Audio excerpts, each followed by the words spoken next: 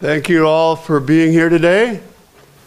Uh, we are very excited. This is our inaugural conference, and uh, so far, so good. We think uh, things are going well. I hope you think so too. Hope you've learned something. Thank you so much for coming. Uh, I'm here to introduce Dr. Jason White. I'm Craig Irwin. I teach business here at Eastern. I'm here to introduce Dr. White. Dr. White looks surprisingly youthful. Uh, based on all he's accomplished, I figured he had to be several hundred years old. Dr. White earned a bachelor's degree in environmental science from Juniata College, a master's degree and a PhD in environmental toxicology from Cornell University. Dr. White is the director of the Con Connecticut Agricultural Experiment Station in New Haven, Connecticut the oldest agricultural experiment station in the country, which means he must manage a $13 million budget, about 105 scientific staff, and a research program of $5.1 million. Before becoming a director, Dr. White served as assistant and associate agricultural scientist, agricultural scientist, head chief scientist, and vice director at the Agricultural Experiment Station. Dr. White is also a visiting scientist at Harvard University, an adjunct at Stockbridge School of Agriculture, and an adjunct at the University of Texas El Paso. Dr. White authored or co authored hundreds of published academic papers, in addition to a number of book chapters and a book. Dr. White is engaged in a wide variety of professional activities. He's the managing editor of the International Journal of Photo remedi- phytoremediation. That's tough for a business person, that word. Um, he he uh, is serving or has served on the boards of various other uh, prestigious journals. Dr. White has expertise on the use of nanotechnology in agriculture and the sustainable use of micronutrients to suppress crop disease, increase tolerance to abiotic stress, and enhance food production. His expertise also extends to the detection of pesticides, toxins, poisons, and heavy metals for food safety and food defense. Dr. White also has expertise in the remediation of persistent organic pollutants such as PFAS in soil, as well as more generally on the fate of organic contaminants in soils, sediments, and waters. In short, Dr. White has accomplished just about everything a scientist can accomplish with the exception of climbing Mount Everest, but he, he let me know that that's in the planning stages right now. The, uh, the title of Dr. White's lecture is The Connecticut Agricultural Experiment Station 147 Years of Consumer Product Safety. 147 years. I knew he was older than uh, he looks. Please give Dr. White a warm welcome.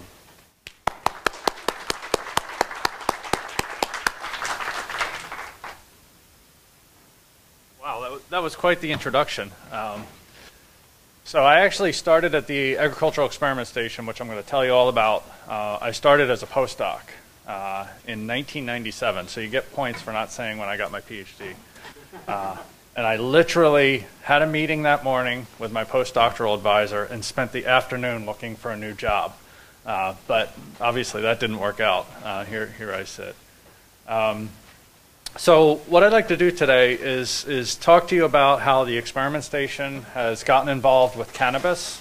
Uh, and, you know, it's a story of 10 or plus so years uh, of, of, work. Uh, but I also um, have an ulterior motive, and I say this all, to all the young faces in the audience. Um, the experiment station is primarily a research institution, although we are a state government agency. Uh, and uh, we love to bring in uh, interns for research some of which we pay, but we're a state agency, so uh, a lot of um, students will come in and do uh, just research projects uh, for credit. Um, we can do that with universities, uh, or just to gain experience. So that's my entire, uh, that's the ulterior motive going through the, uh, the entire presentation.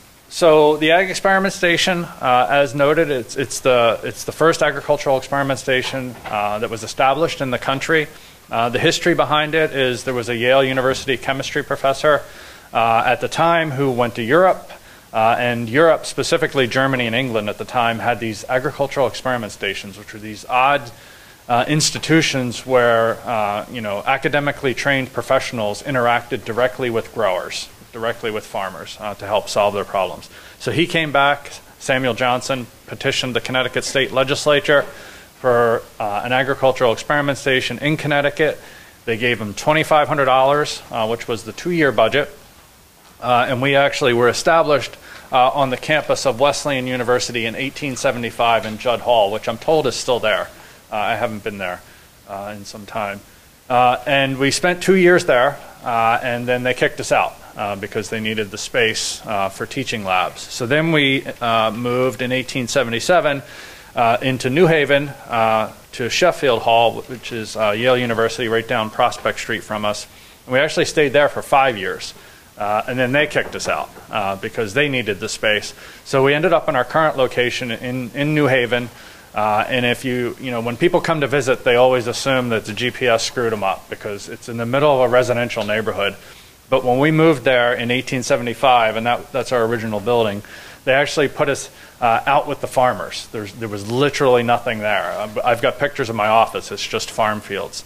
Uh, so everything that's there, including Albertus Magnus College, kind of grew up around us. Uh, so our first program, and there were two people that were hired, uh, was actually uh, a consumer product safety program, and that was fertilizer analysis. Growers in the state in the 1860s and 70s were buying fertilizers, putting them on their crops, and killing their crops. Uh, so obviously what they were buying was not fertilizer. So our first program, a program that continues to this day now with FDA funding, uh, is uh, label um, um, label purity analysis, label claim uh, confirmation. Uh, so some of the other uh, points about the agency, we are state government. I should also mention that every state in, in the United States has an agricultural experiment station. We are also the only one that's um, not part of a university. That original law actually said we had to be independent, uh, so we could we could never join a university. California was the second one, and every institution after us, they all became the the ag experiment stations all went to the land grant universities. Um, so all of my fellow directors are actually deans of colleges of agriculture. Uh, so uh, as a state agency, we're, we're, relatively small. Our annual budget is, is uh, a little over 13 and a half million the year that we're currently in. Uh, and, but only about 7.76 of that comes from the state. The rest is federal money. Uh, and a lot of that is research money. Uh, we have 41 or 42 PhD scientists, and a lot of them uh, you know, are basically doing jobs they would do at a university, you know, an R1 school where they write grants and do research. Uh, but we also get what's called formula funds um, from um, the federal government through the Farm Bill. Uh, so although I am uh, commissioner level as the head of an agency, I'm not a political appointee, thankfully. so when the governor goes, I don't go, I stay. Uh, we're actually governed by a board of control. That's who I report to. The governor sits on that, but so do, do other uh, representatives from three universities, obviously the commissioner of ag, uh, and uh, two citizens. So as noted, our primary mission is research, uh, and that research has extended far beyond agriculture. Uh, and obviously, agriculture is still a part, a big part of what we do, but we have programs in food safety, public health, and the environment. Uh, and uh, I don't want to spend too much time talking about those, but um, you know, we have both. Mo most of those are research driven, although there's some some regulatory and surveillance work in there as well. But because we are a state agency, we do have statutory or regulatory responsibilities, and some of those are listed there. The director of the experiment station, and I'm, I'm the 10th director, uh, is actually the chief plant health official. So we're in charge of inspecting all um, um, uh, crops that move into and out of the state uh, for pests and, uh, and, invasive diseases and things of that sort. Uh, our analytical chemistry group, and we have two representatives from our analytical chemistry group there in the middle, Terry and Anuja, two of our analysts. Uh, we have um, FDA funded but state mandated um, chemical analysis on food, fertilizers, and some other products. we house the state beekeeper. Uh, and um, we do a USFS funded surveillance of forests for pests. Uh, and um, we also run the state's tick testing laboratory. We run the uh, mosquito-borne disease testing laboratory. So whenever you hear about West Nile and Eastern equine encephalitis, we're doing the testing. Uh, and those programs have both regulatory and research components. Uh, and the research components comes from the fact that we're part of a CDC Center of Excellence for Vector-Borne Disease, so we get money from them for research. Uh, administratively, we have five departments listed there. I'll pick up the pace a little bit because this is probably pretty boring. Uh, and our total staff is, is around 100, but that includes uh, postdoctoral scientists who come in for research projects and then, and then leave to continue with their careers. Uh, we have four locations. This is our ma main location in New Haven. Um, and that's actually the chemistry building there. Uh, we have uh, three experimental farms located at, uh, across these, loca um, these places. Our main farm is, and where I'll show you pictures of our hemp growing, is in Hamden. we also have a research center which is out near the Rhode Island line in Griswold. where there's a 40 acre farm. and then um, just short of the airport up in Windsor, we have Valley Laboratory where there's also a farm uh, but a staff of, of seven to eight people, mostly plant pathologists and entomologists. Uh, and um, we have currently have a million and a half dollars to do the redo the greenhouses in our main laboratory for research, uh, and that groundbreaking should be in uh, February or March. We also have 26 million dollars to redo that building uh, and expand it um, because that building was built in 1940 and it's about to fall over. So I mentioned our food and consumer product safety. This is the, the giant laundry list of a lot of the programs that, that happen in analytical chemistry. Um, the experiment station is, is uh, in, in, for certain um, matrices, we're the primary analytical laboratory. We're not the drinking water laboratory, that, that's the public health lab, but uh, a lot of things other than drinking water will come to us from other state or federal agencies. Uh, and, uh, so, and we also do environmental monitoring. So we're DEEP's primary laboratory. So we're the PCB testing laboratory. We're the state FIFRA laboratory for pesticides. Uh, I mentioned feeds and fertilizers. We still do that program. We also work with agriculture on the, the, uh, the burgeoning seaweed um, industry that's, that's taking off. Uh, pesticides and adulteration in food. This is a program that we actually started back in the 1960s, but on around 2005 or so, FDA um, started funding it. So it's now FDA funded, uh, and they funded us to get ISO accredited, which is going to be important because we're applying that to our, our cannabis work. Uh, but the, all of, we work with our state sister state agencies for sample collection. Uh, we do all of the uh, liquor control testing, uh, whether it's a new product that needs a license or if it's uh, an investigation or a fraud um, or an audit type of thing. Uh, and then I mentioned DEEP. Um, so as part of this USD, US FDA program, um, this historically has supplied us with a lot of the analytical equipment we have in our laboratory uh, because we were part of a food defense network that was established after the terrorist attacks of 2001. Uh, that has expanded over the years to include human and animal food surveillance. Some of the things that we've been involved with over the years, melamine contamination, which was an issue in, you know, 2008 to 2010, both pet food and uh, baby food formula. Uh, we were one of three labs that were testing seafood from the 2010 Gulf uh, Deepwater Horizon oil spill. Uh, and these are some of the things that we're still involved in. We do political convention testing from time to time as part of that food defense. Um, so there's a lot going on in the chemistry department, which I ran for about 11 years, which was, which was great. And some days I miss it and some days I don't, right? Um, so, um, so what's our 147-year history in, in, consumer product safety? As I mentioned, it was initially focused on uh, fertilizers.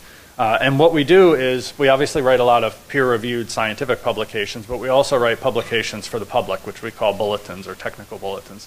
Uh, and this is actually what our one, our one of our first ones looked like. This is the handwriting of Samuel Johnson, but it was an analysis of some of the fertilizers, uh, and you can see some of these other ones over here. But we still, this was one that was published uh, earlier this year.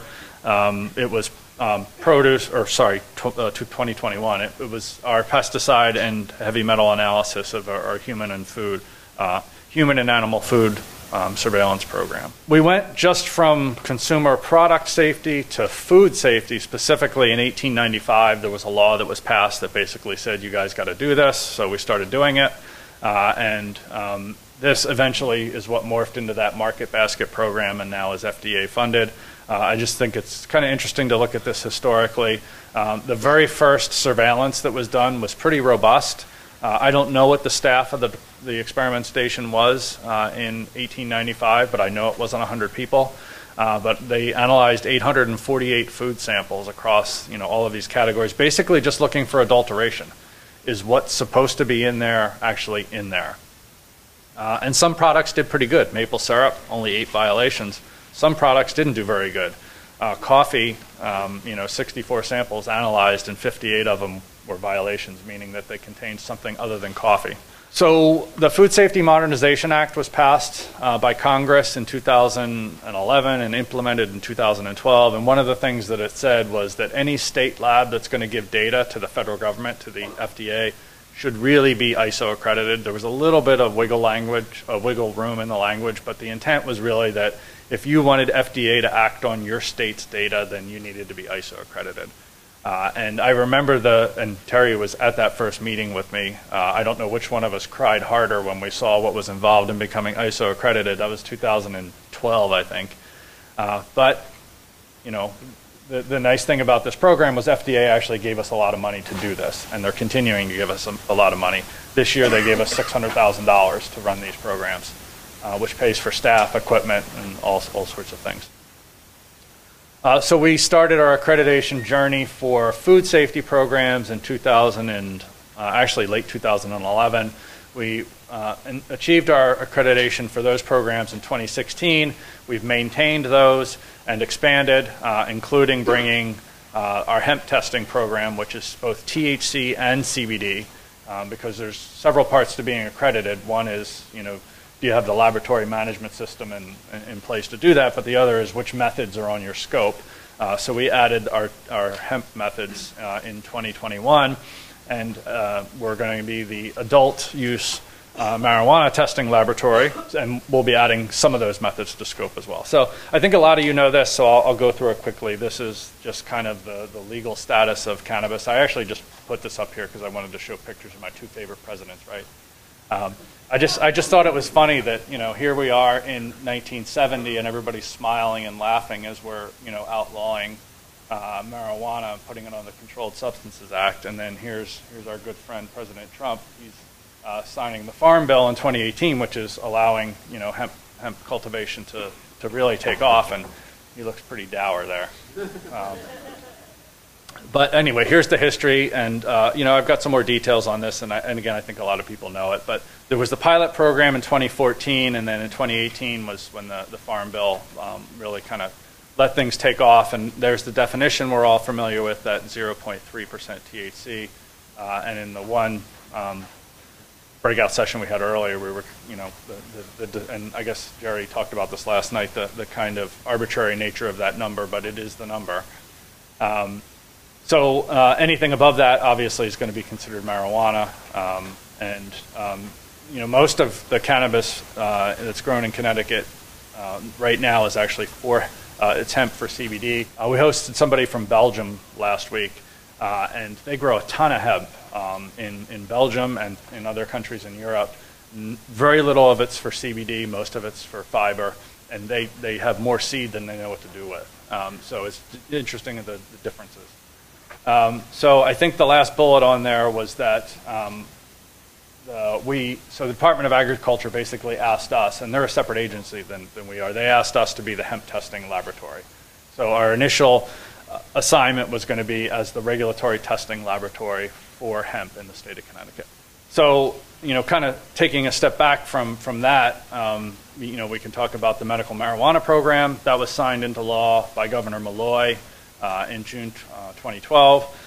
Uh, and we were involved in some of the early discussions. I remember um, the director, two directors before me, called me to a meeting uh, at the LOB, Legislative Office Building in Hartford, to, to have a meeting with some of the industry that was coming in the, uh, at the time to, to set up some of the, the medical use um, institutions.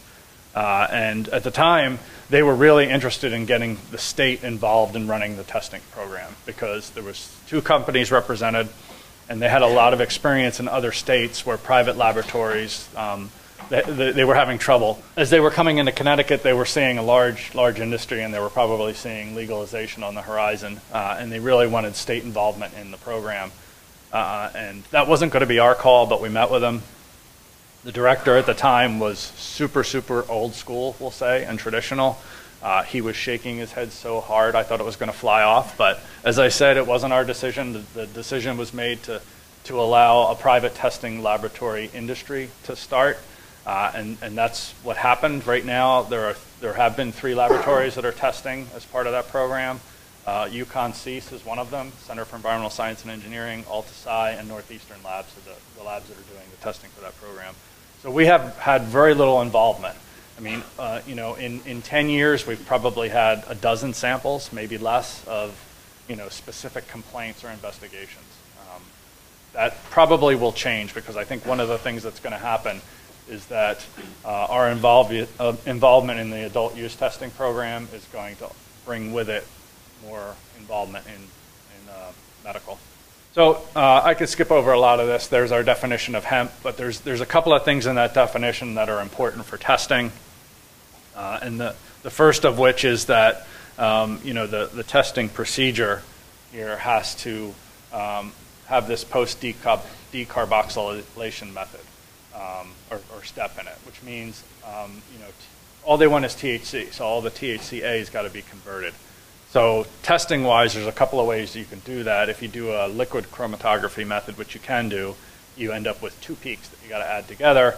We decided, we being Harry, decided that that was going to be a pain in the neck. Why not just do a GCFID where you get that conversion automatically because of the high temperature? Uh, and then the other issue is, is that the dry weight isn't defined. Um, this isn't necessarily an issue for one lab doing testing because we dry everything the same way every time we test it.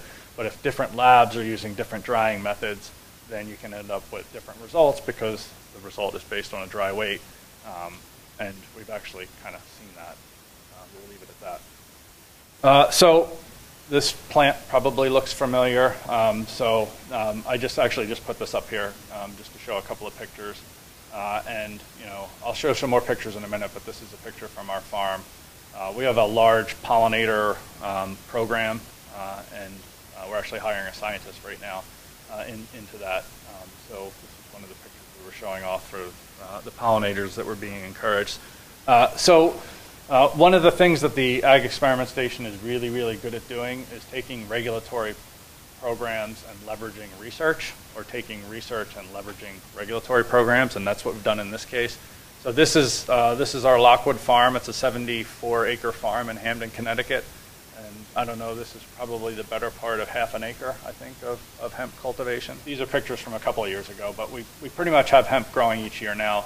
Uh, and I'll show you data from this field trial, but these were just five different cultivars that we were growing. Um, so uh, the interesting thing about this farm is 8.30 to 4.30 during weekdays, it's essentially a state park. The gates are open, people come in, they walk their dogs, they're moving all around. So we, um, you know, we were a little strategic in where we placed our hemp uh, plot. Uh, Quinnipiac University also sits across the street, so uh, you know we didn't want it right at the fence's edge, so to speak. Um, but you know, during the weekends and evenings, it's it's a, a, locked facility. So a few things on the chemical analysis. Um, this this kind of came up this morning in our in our one group. Um, you know, a quick turnaround time is really really important, and this is this. I was just talking about this with Terry. I took over as director two years ago, so my in, my direct involvement in hemp hasn't hasn't been as um, as significant as it was before then. Uh, but it, the, still, the, the quick turnaround time is important for hemp growers because it's a pre-harvest test. So the grower, and, and for the first few years, the growers could send in their own samples. Now it's DOAG has to come take the sample. Uh, but you, you know, once you take that pre-harvest sample, the clock starts ticking, uh, and it's 30 days now for you to take take the uh, to do the harvest. Um, so um, so this was an issue because uh, the original role for our laboratory was going to be the regulatory testing lab. So we were only going to test samples that DOAG wanted us to test for an audit or for an investigation or something. Uh, but the private labs that were doing the testing, they were having difficulty meeting the, the turnaround time because they were doing many other things, including medical marijuana testing.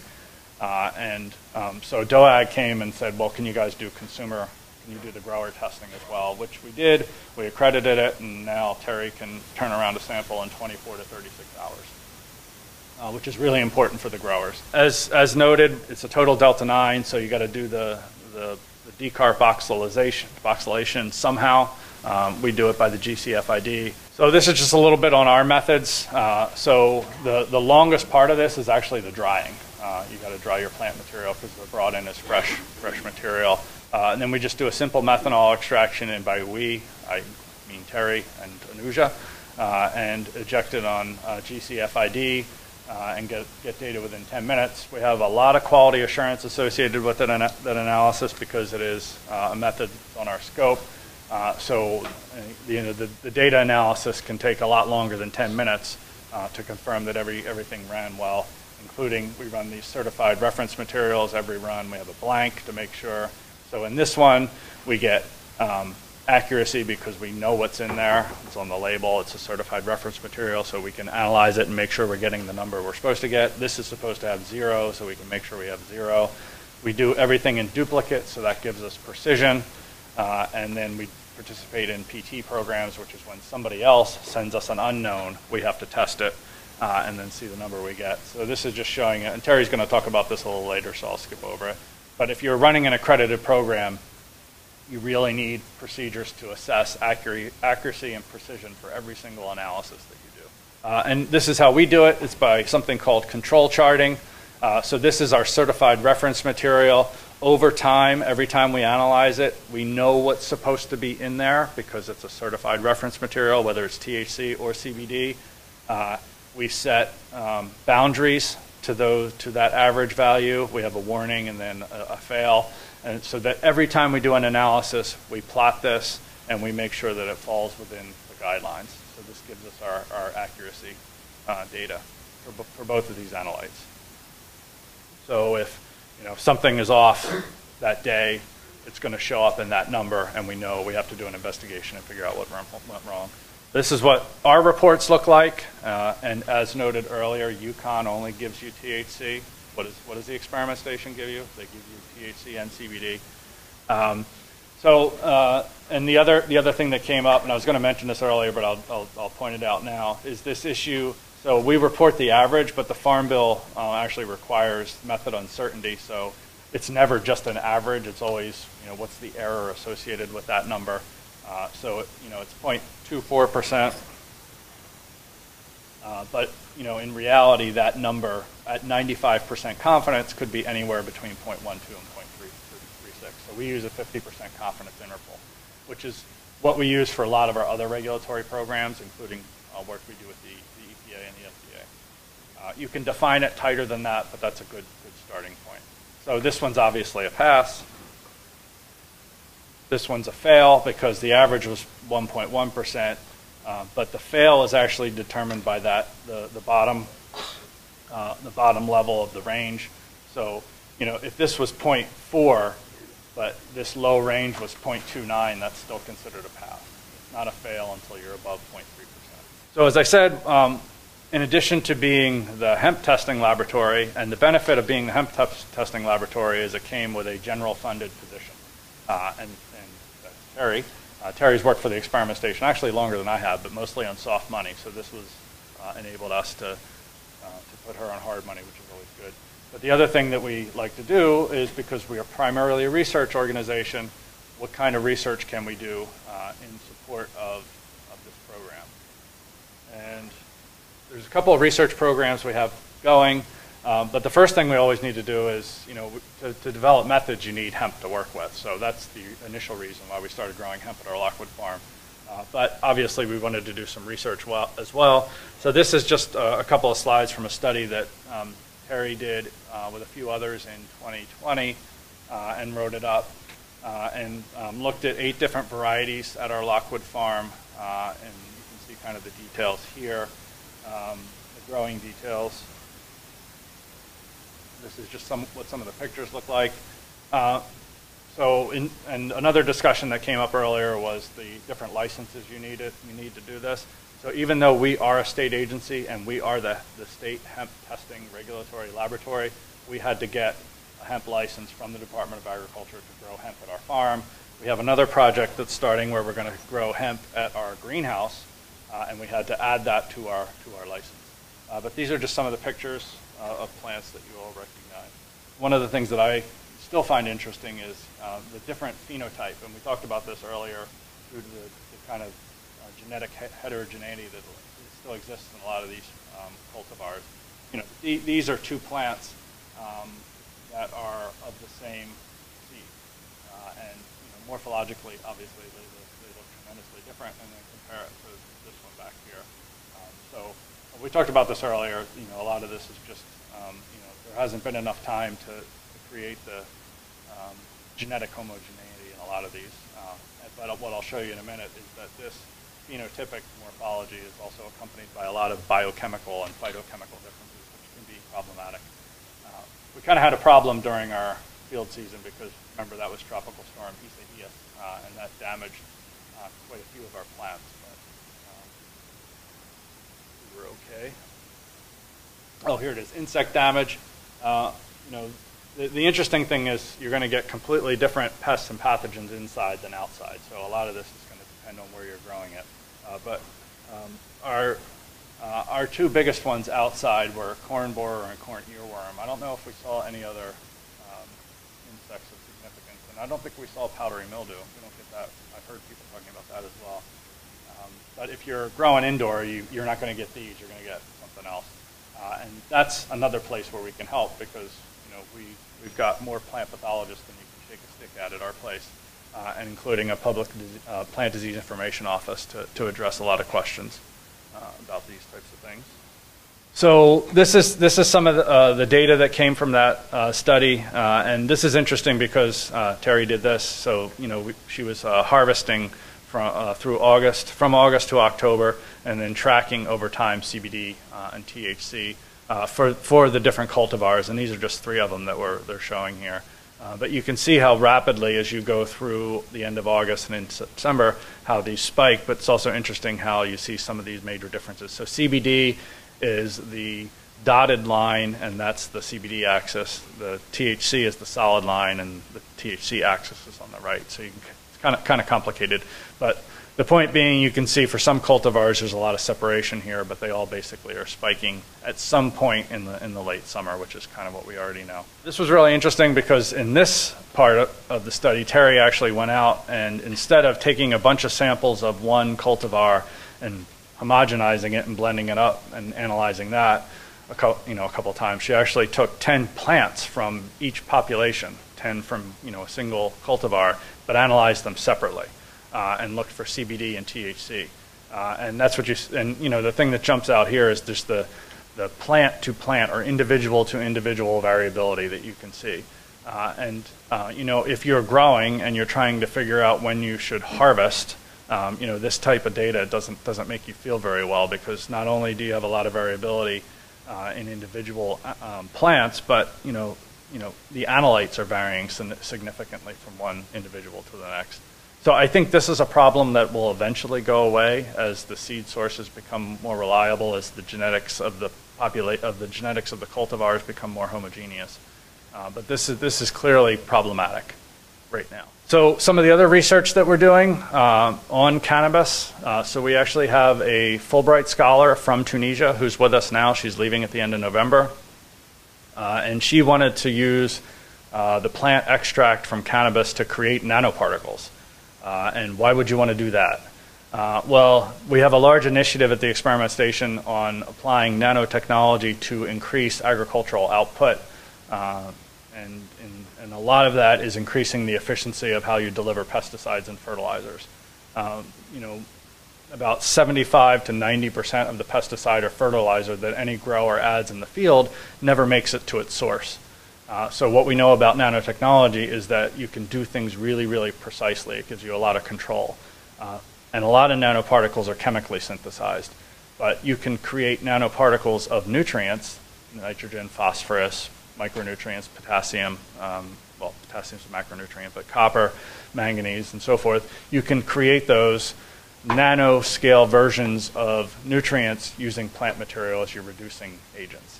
Uh, and then you end up with a, with a nano fertilizer at the end that has some pretty unique properties because it, it, takes with it some of that phytochemistry. Uh, so she's actually writing this up as a paper right now um, because we actually found some really interesting results about how this uh, new nano fertilizer, we intended it as a nano fertilizer, but it actually ended up controlling uh, Fusarium, a fungal infection on soybean. So we have a research program in that area. Uh, we also have an NIH program, uh, a grant that was funded for PFAS. Uh, PFAS is an emerging soil contaminant, uh, and there's a lot of interest in finding out ways to um, uh, either get it out of the soil or to bind it in the soil so that it doesn't contaminate food. Uh, so there's a strategy called phytoremediation where you can use certain plants to actually suck contaminants out of the soil. Uh, so we, we actually had data with hemp showing that um, they, were, they were pretty good at doing this for PFAS. Uh, the preliminary data is actually coming from a field study we have in Maine um, with a, a, tribe up there, the Micmac Nation. Uh, but it's not pulling out a lot. So um, this program, we're actually developing novel nanomaterials that are sustainable. They'll bind to the PFAS, and then the, the hemp will take the whole thing out, uh, the contaminant. Uh, so this is actually the, the, uh, the, the, grant where we're going to start growing hemp in, in our greenhouses. And then that brings us to adult use uh, cannabis. Uh, so obviously this was passed uh, in July 1st of 2021. Um, I don't need to dwell on the specifics of the legislation, just to say that Department of Consumer Protection Drug Control approached us pretty early. Uh, and by pretty early, I mean mid 2020, uh, and wanted us to be uh, involved as the, the state's regulatory testing laboratory for this. Uh, and at that point, I was in charge, and I shook my head yes so hard it almost flew off. Uh, because it was going to come with additional positions, and uh, we were already doing hemp, and um, you know it's just a really interesting system system to work with. So, as noted, uh, adult use cannabis came with three new chemist positions. Why do I say that? Because if you're a state employee and you're running a state agency, it's really, really, really hard to get positions to hire new people. So cannabis has brought four in the last four years, which is, you know, four times as many as the preceding 10 years. So what's, what's the kind of adult use marijuana testing going to look like? Um, it's going to be hard. Um, you know, and Terry's probably going to throw something at me when I say this, but the hardest part of the hemp testing program, I think, is really the rapid turnaround time. I mean, um, you know, she's really good at her job, so she was able to stand up the program. But it's it's plant material for two analytes, THC and CBD. So really, the hardest part of that is turning it around really quickly for the grower. Um, adult use cannabis is going to be the exact opposite of that. Um, so we're going to have to test uh, a whole series of cannabinoids, those listed there. Um, the, the statute also says that every product has to be tested for pesticides. Um, now we have an ISO accredited pesticide testing program for food and feed, so we can apply that to this program. Uh, they, it has to be tested for mycotoxins, five of them. Well, we've got four accredited, so we just need to add one uh, but again, in different matrices. And also terpenoids, which we have to stand up a method for that, and also toxic metals. So every one of those groups of analytes is a different extraction or digestion, so different sample preparation procedure. Uh, these are all going to be either G, uh, LCUV or LC mass spec, so one set of instruments. Pesticides are another instrument, same instrument as mycotoxins, although different extraction method and the metals are completely something else, and the terpenoids are completely something else. And all of that has to happen in every single matrix that comes in, which is not going to just be plant material. Um, so then I started thinking we should ask for 30 chemists, not three. Uh, but um, you know, so we're in a lot of so we're in a lot of discussions now with Consumer Protection Drug Control about the testing. I mean, do we really need to run pesticide screening panel on a pill? uh, or you know some other some other product. Uh, and you know we got to figure out what the answers to those questions should be. Uh, but that that's a lot of what's happening right now. But we will be the regulatory testing laboratory. So the only samples we are going to analyze will be ones submitted by Department of Con Consumer Protection drug control inspectors, whether it's surveillance, whether it's an investigation, uh, or we're going to also be the oversight laboratory for the other labs that are doing the testing, the private labs. Uh, And they did ask, when they do their audits, when con- drug control does their audits, they would like us to go with them to audit the private labs. Uh, So I'm running a little short on time, um, so this is, this is kind of what I said, I got ahead of myself, but the, the take-home message is, you know, lots of methods, lots of analytes, lots of matrices, and we'd like to accredit all of it. Um, You know, that's going to be a, a process that's going to take a very long time, and obviously, you know, not all of these analytes are of the same importance, I would argue. I mean, obviously, knowing the THC is going to be the, the most important thing. Uh, knowing the, the cadmium concentration of a pill may be of less significance. So I will stop there. Uh, there's my contact information. As I said, you know, all of those programs that I mentioned, including the regulatory ones, we will, we will bring interns in and we will work with you and you will help us, which is why we like to do it, and also, you know, be part of the educational process. Um, but both research and regulatory programs. So here's my contact information. I actually have to run and catch a flight out of Newark in about three hours, so I'm going to run out of here. But Terry and Anuja will be here for a little while as, as well. So happy to take any questions.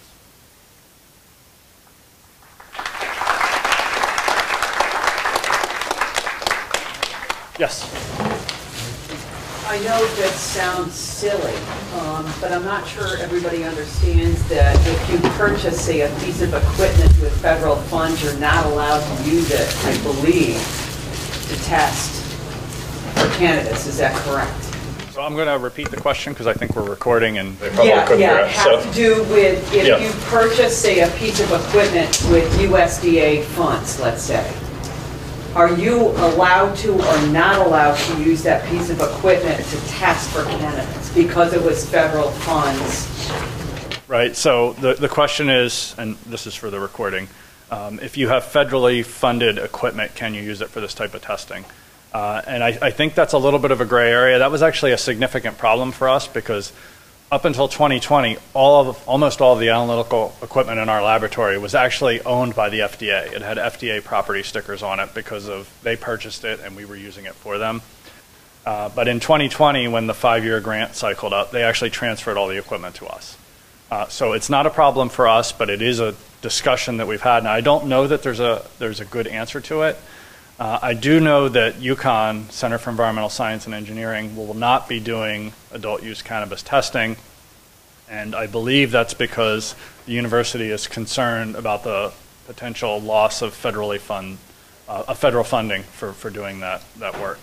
Um, so it's not going to be an issue for us because none of our equipment is federally purchased anymore or federally owned, um, but it's it's a problem for states. Um, So for your GCMS analyses, what temperatures do you use? Since you higher temperatures probability yeah. Yeah, so the question is for the, the GC FID analysis, what are the temperatures? Uh, the inlet temperature, I don't know, what is it, 290 degrees Celsius? 250 degrees Celsius? Uh, and that's, that's just a function of the instrument. So, you know, so that's, that's what, why we chose that method, just because by virtue of in doing the injection, you get that step happening.